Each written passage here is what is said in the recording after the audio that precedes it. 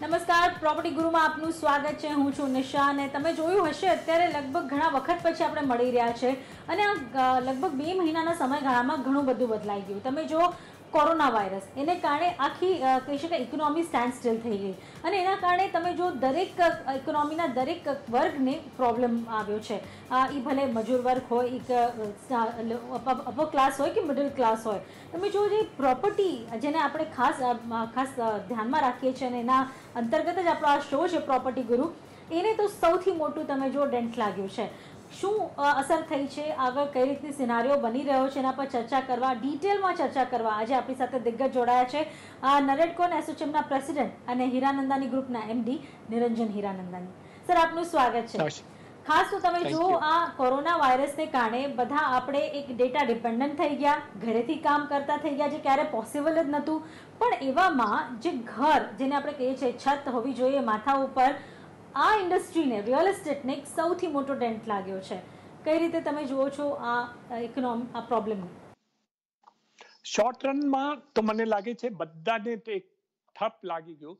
અને એક મને એન્ડ બધી જે ઇકોનોમી છે એ સ્લો ડાઉન એટલું બધું થઈ ગયું છે કે જે આપણે વન પોઈન્ટ નાઇન પર્સન્ટ જે વાત કરે છે એ કંઈ થવાનું નથી.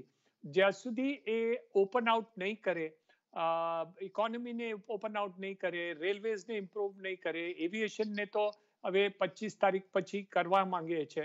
તો એટલે મને લાગે છે કે જ્યાં સુધી એ કોનો વાયરસ ન્યૂ નોર્મલ નહીં થઈ જાય એન્ડ માણસો કામે વાપસ નહીં લાગી જાય, ત્યાં સુધી મને નથી લાગતું કે રિયલ એસ્ટેટ છોડો. કંઈ પણ બિઝનેસમાં એક હટ થઈ જાય. ઠીક છે ફાર્મસી એક છે, જેમાં આઈ થિંક એક છે. ફાસ્ટ મૂવિંગ કન્ઝ્યુમર ગુડ્સમાં થોડું કંઈ રાહત છે. પણ બાકીના જે ઇન્ડસ્ટ્રીઝ છે, એ બધા અટકી ગયા છે એન્ડ લોંગ ટર્મમાં બહુ તકલીફ થવાની છે.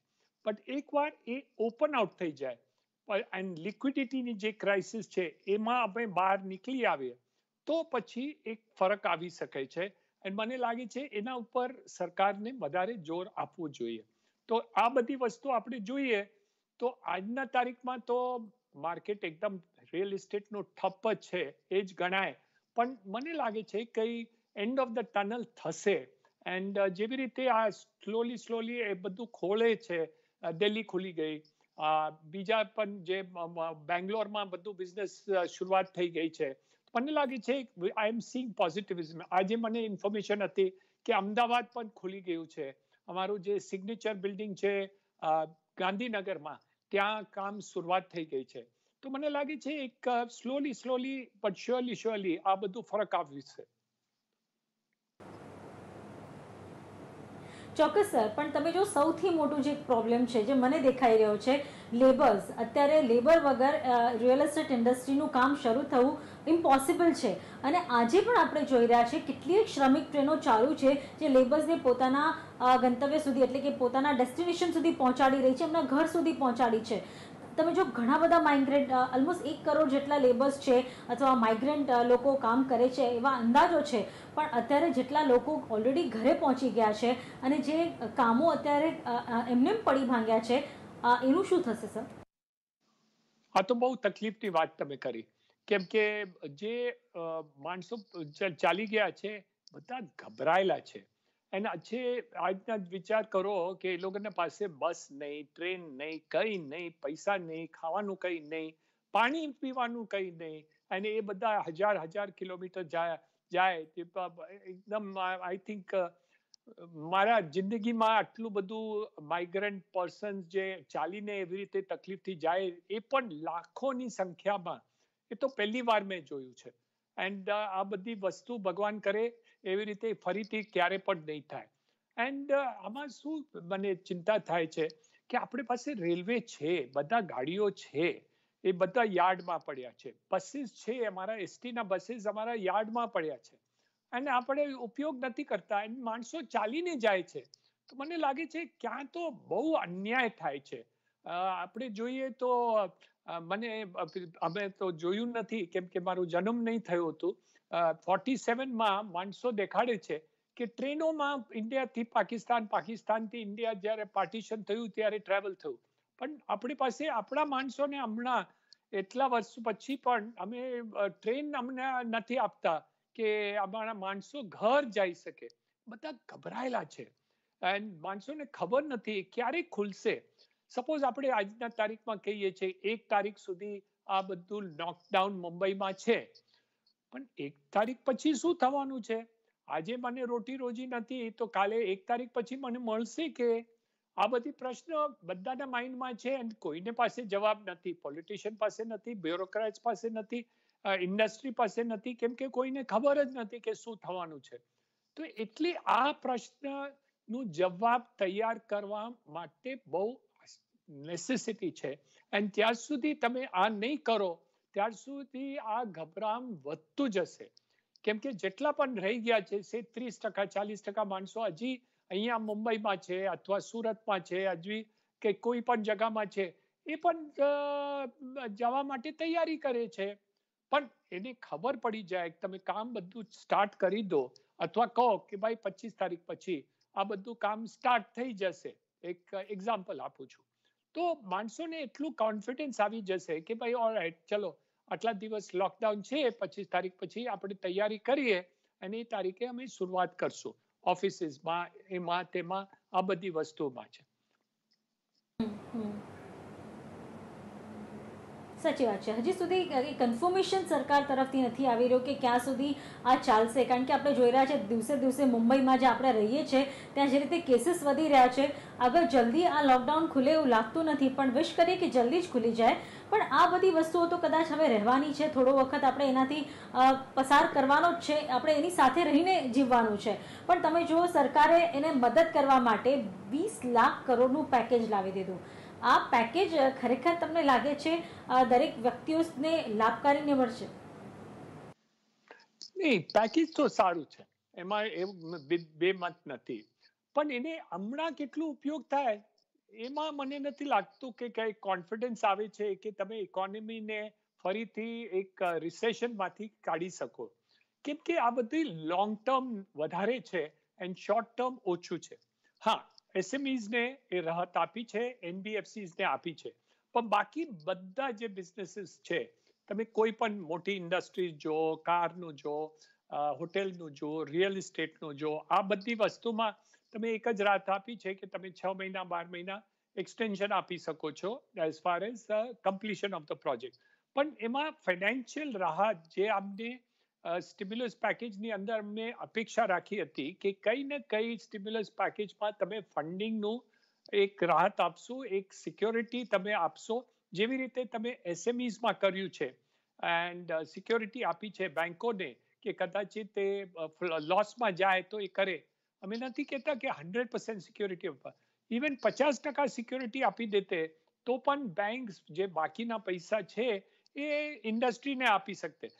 સો જે પ્રોગ્રામ છે, આપણે આ ટ્વેન્ટી ટ્રિલિયનનો જે પેકેજ છે, મને લાગે છે ફર્સ્ટ ક્લાસ પેકેજ છે, પણ મને નથી લાગતું કે એ સ્ટિમ્યુલસમાં આટલું બધું કંઈ ગણતરી એમાં આવે.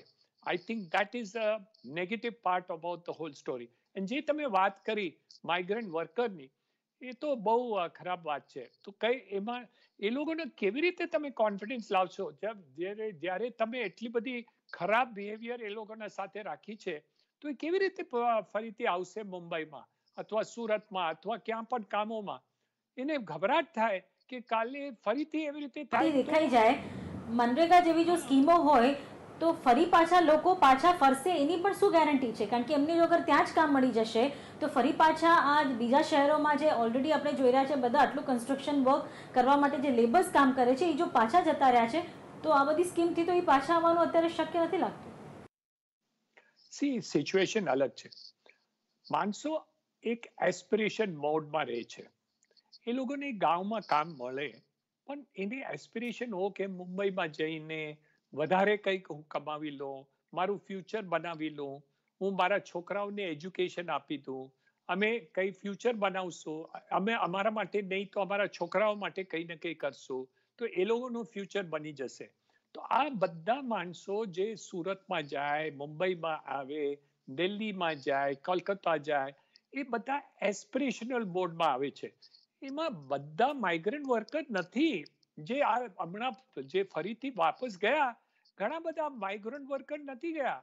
એ સપોઝ ફેરીવાલા છે જે ડેલી રોટી રોજી કરે છે, એ પોતાનું પોતાનું કરે છે એન્ડ એ પતિ છે.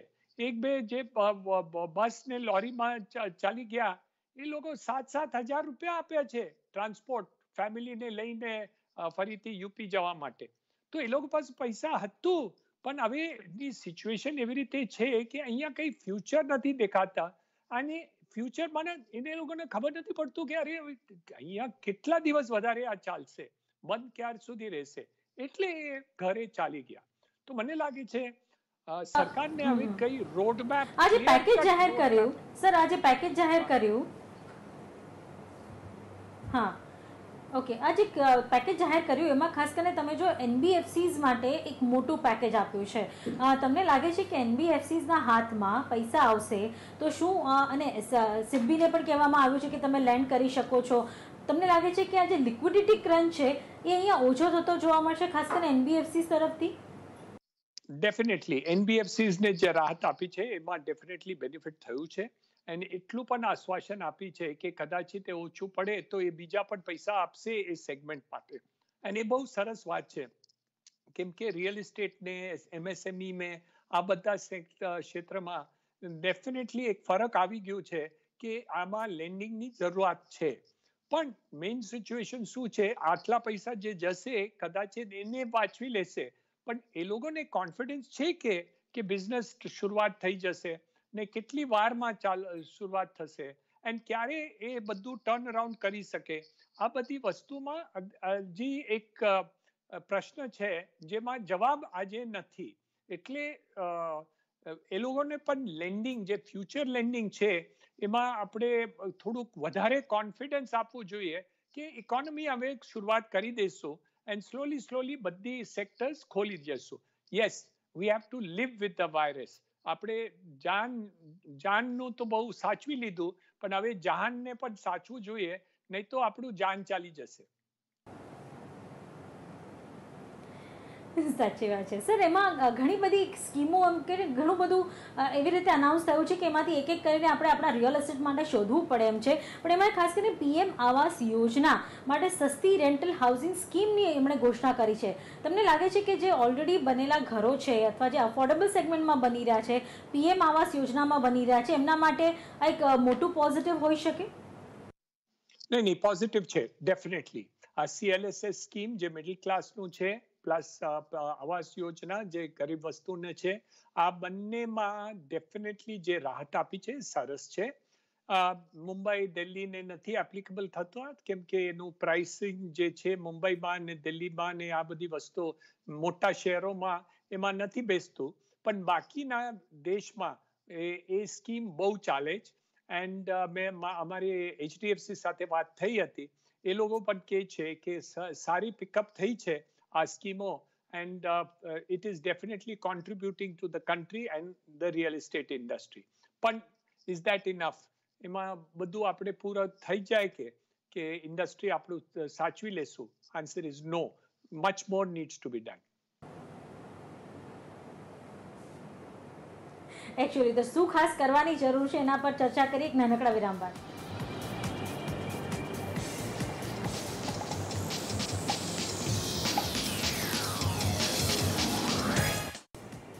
એક નાનકડા વિરામ બાદ સ્વાગત છે. આપણી સાથે નિરંજન હીરાનંદાની જોડાયેલા છે. જેમની સાથે આપણે આ કોવિડ નાઇન્ટીનની કેટલી અસર અત્યારે રિયલ એસ્ટેટ પર થઈ રહી છે એના પર આપણે ચર્ચા કરી રહ્યા છે.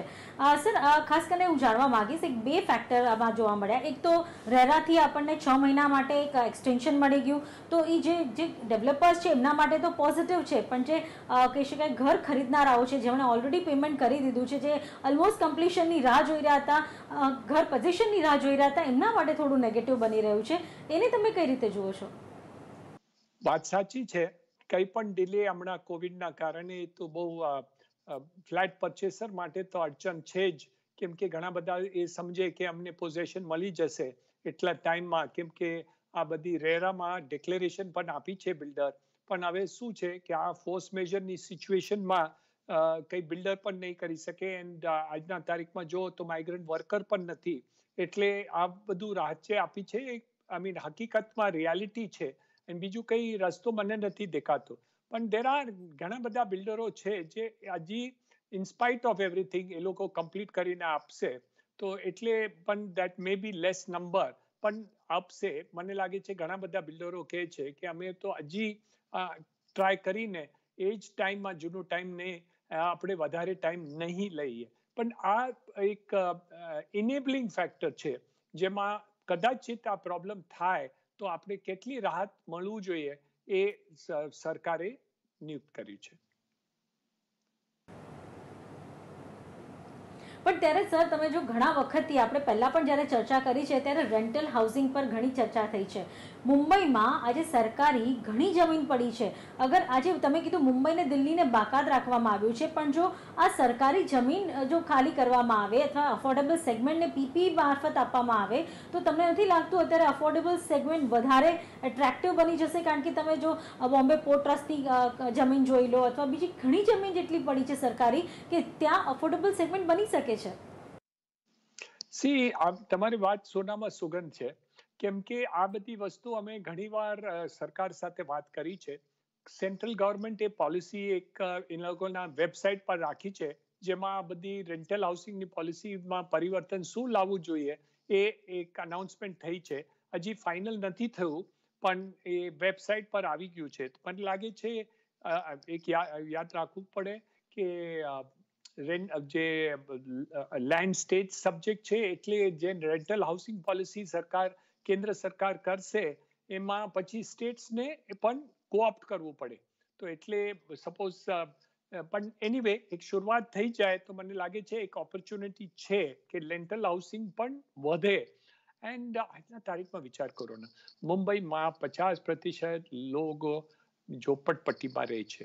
તમે રેન્ટલ હાઉસિંગનું ક્રિએટ કરો તો કેટલા બધા તો આમાંથી અહીંયા શિફ્ટ થઈ જશે. તો I think there is an opportunity to create rental housing stock જે જમે વાત કરી પ્રોસ્ટ્રસની જમીન સોલ્ટાનની જમીન એમએમઆરડીની જમીનો કેટલા ઘણા બધા છે એમાં કોઈ કઈ કરવા માંગે તો મને લાગે છે ઘણા બધાને એક છત મળી જશે ઘર મળી જશે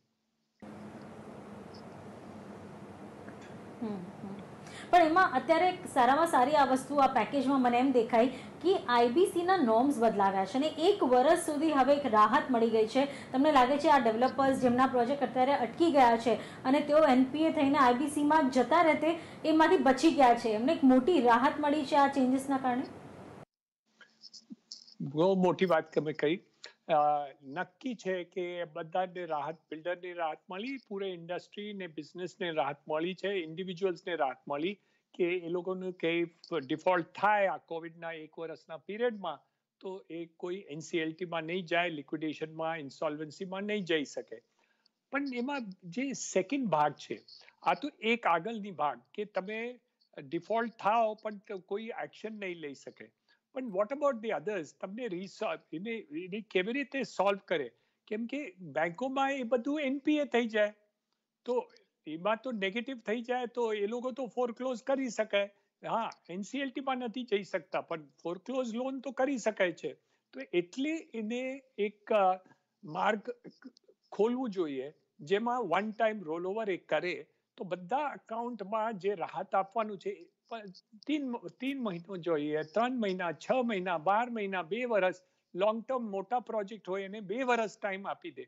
પણ એ depending on the project bank મેં કરી. આપણે બે હજાર આઠમાં જ્યારે લીમન ક્રાઇસિસ થયું હતું, ત્યારે આપણે એવી રીતે જ કરેલું કે બેંકોને રાહત આપી હતી કે તમે વન ટાઈમ રોલ ઓવર કરી શકો છો. રિયલ ઇસ્ટેટમાં પણ અને બીજા લાઇનમાં પણ પણ અમને કંઈ સમજ નથી પડતું કે એ ટાઈમે આટલું બધું કઈ ચિંતાની વાત નહોતી, પણ એ લોકોને પરવાનગી આપી. પણ હવે મોટી ચિંતા ચાલે છે ને સિચ્યુએશન ફાર વધારે એક ડેન્જરસ દેખાય છે. પણ એમાં કેમ એ લોકોને આ રાહત નથી આપતા? એ આ પ્રશ્ન અમે રિઝર્વ બેંક ઓફ ઇન્ડિયાને કરીએ છીએ અને અપેક્ષા રાખીએ છીએ કે ગવર્નર આ શાંતિકંતા દાસ એમાં કઈ પરિવર્તન લઈ આવે એની નેક્સ્ટ અનાઉન્સમેન્ટમાં ડેફિનેટલી તો અત્યારે હવે શું અપેક્ષા રાખો છો સરકાર પાસેથી? કે હજુ કંઈક વધુ, આનાથી વધુ સરકાર આપી શકે તમને? જો કે અત્યારે એફએમએ તો કહી દીધું છે કે અત્યાર સુધી બધું મને જે કરવાનું હતું, મેં કરી દીધું છે. પણ શું બીજી અપેક્ષા તમે રાખો છો? શું છે? કે જ્યાર સુધી આ બધી કોરોના વાયરસ ચાલશે એન્ડ સિચ્યુએશન એનાથી વધારે ખરાબ થશે, તો અમે તો અપેક્ષા સરકારમાંથી રાખશું. કેમ કે બીજા કોણના પાસેથી રાખે? આપણે તો કોઈ યુએસ ગવર્મેન્ટ પાસે નથી જઈ શકતા, નહીં તો અમે વર્લ્ડ બેંક પાસે નથી જઈ શકતા. તો આપણે સરકારના દરવાજા જ ખટખટાવે તો નંબર વન આપણે જે વિચાર છે કે ડિમાન્ડને કંઈ પણ કરવું જોઈએ, એ અમારું સુઝાવ છે નરેટકો અને એસોચેમના દ્વારે કે તમે વન ટાઈમ જીએસટીમાં તમે ફિફ્ટી પર્સન્ટ ઓછા કરી દો છ મહિના માટે. તો એ લગભગ મને લાગે છે રિયલ એસ્ટેટમાં થોડું આવી જશે એક રાહત પ્લસ ઇન્સેન્ટિવ પ્લસ બીજા સેક્ટરને પણ રાહત થઈ જશે. સો એવિએશનમાં હોટેલમાં કાર ઇન્ડસ્ટ્રીમાં રિયલ એસ્ટેટમાં બધામાં જીએસટીમાં ફિફ્ટી પર્સન્ટ રાહત કાપવાની વાત છે. That is one number two reserve બેંકને વન ટાઈમ રોલ ઓવરની વાત છે. એન્ડ થર્ડ જે ક્રેડિટ પૈસા પડ્યા છે, સાડા લાખ આઠ લાખ કરોડ એમાંથી કઈ ભાગ રિયલ એસ્ટેટને ગેરંટીના હિસાબે આપી દો. સ્પેશિયલી જે ઓનગોઈંગ સ્કીમ છે, જે લાસ્ટ માઇલ ફંડિંગ છે, જેવી રીતે સ્વામી ફંડ છે, એવી રીતે બીજા ફંડ કરવાનું. તો એ થર્ડ પોઝિશન છે કેવી રીતે આપણે આગળ વધીએ. એન્ડ હવે નવી વાત નીકળી છે કે આપણે માઇગ્રન્ટ વર્કરની રસ્તા કેવી રીતે કરે, એને કોન્ફિડન્સ કેવી રીતે લઈ આવીએ કે આ ફરીથી એવી રીતે નહીં થાય. અને ક્યારે પણ તમને ઘર ફરીથી જવું પડે ફ્યુચરમાં તો અમે તમને બસ ને ટ્રેન આપી દેશું. જે હમણાં જે આપણે કરેલું એના સાથે એ અમે અમને માફ કરો અમે બીજી વાર નહીં કરીએ. ઓકે સમય ઓછો છે એટલે આખરી સવાલ હું પૂછવા માંગીશ કે અત્યારે કન્સ્ટ્રક્શન ક્યાં ક્યાં શરૂઆત થઈ ચૂકી છે? અમારા બધા પ્રોજેક્ટ્સમાં ધીમે ધીમેથી જ શરૂઆત થઈ ગઈ છે. સાખી વિહાર રોડમાં પવાઈમાં થાનામાં પનવેલમાં ચેન્નાઈમાં સ્ટાર્ટ થઈ ગઈ છે. એન્ડ ઘણા બધા ઓલ ઇન્ડિયા લેવલ ઉપર સ્ટાર્ટ થયું છે. પણ બિકોઝ વર્કર્સ ઓછા છે, એટલે અમારું કામ જે છે, જે રફતારથી અમને શરૂઆત કરવી હતી, એ નથી થયું. તો લગભગ અમને પચીસ ત્રીસ પર્સન્ટ વર્કર્સ અમારા સાથે છે આજના તારીખમાં. એન્ડ એક અપેક્ષા રાખીએ છીએ કે એ લોકો રહે- રહેશે. એન્ડ થોડા જે એવી રીતે મંજૂર છે જે બીજાના સાઇટ ઉપર છે જ્યાં કામ ચાલુ શરૂઆત થવાની કઈ અપેક્ષા નથી એને લોકોને અમે ફરીથી બોલાવી લેશું કે તમે અમારા પ્રોજેક્ટ જે ચાલુ છે શરૂઆત થઈ ગઈ છે એમાં એ જોડાઈ જાય. એટલે તમે પોતે અરેન્જ કરશો બધું ટ્રાવેલ ને? યા વાય નોટ આપણે ટ્રક લઈ શકીએ ને ત્યાં જઈ શકીએ પોતાના પોતે ઇનિશિયેટિવ લે પોતાના વર્કર્સને પાછું બોલાવવા માટે. કઈ નહીં કઈ નહીં કરીએ. આપણે કરશું ને. પણ હમણાં નહીં થાય હમણાં આજના આજમાં નહીં થાય. આજે તો ગભરાટ બહુ વધારે છે મુંબઈના માટે. અને. કોરોના વાયરસ તો બહુ ગભરાટ કરી છે. પણ જેવી રીતે એવિએશન ને રેલવે ખુલી જશે આ કોન્ફિડન્સ ફરીથી આવી જશે. It's only a matter of time ને આપણે ભૂલી જઈશું કે આ વસ્તુ શું હતી અને શું થયું. And we will live with corona virus. અત્યાર સુધી તમારી પાસે એવા કોઈ એક્ઝામ્પલ આવ્યા હશે, એવા કોઈ કેસીસ આવ્યા હશે જે ડેવલપર્સ અત્યારે મોટા ક્રંચમાં હશે, મોટા ફિનાન્શિયલ ક્રાઇસિસમાં હશે? શું કહી શકાય નરેટકો કે તમે ઇન્ડસ્ટ્રીના બધા લોકો મળીને એમને મદદ કરવાની અથવા ફરી પાછા એમને બેઠા કરવાની કોઈ કોશિશ કરી રહ્યા છો? ઘણા બધાને તકલીફ છે. ઘણા બધાને સ્વામી ફંડ્સમાં અમે રાસ્તો દેખાડીએ છીએ. ઘણા બધાની અમે બેંકો સાથે વાત કરીએ છીએ કે કઈ રાહત આપીએ. ઘણા બધાની આપણે વાત કરીએ છીએ કે જે માર્કેટિંગ છે, અમે હવે ઓનલાઈન માર્કેટિંગ શરૂઆત કરી દઈએ. તો અલગ અલગ વાતો ચાલે છે કે ભાઈ કેવી રીતે એમાં માર્ગ નીકળે આ બધી વસ્તુઓમાંથી એન્ડ મને લાગે છે કે આપણી પાસે આ રેઝિલિયન્સ છે. વી આર ઇન્ડિયન્સ હિન્દુસ્તાની છે. આપણે કંઈ ને કંઈ માર્ગ કાઢી લેશું. પણ આપણે શું છે કે સરકારની રાહત જોઈએ એટલે અમે માંગીએ છીએ. નહીં તો આપણે પહોંચી વળીએ મને નહીં લાગે કે ખાલી પેલી અમે જ કંઈ કરી શકીએ તો આપણે સરકારને કંઈ માંગીએ.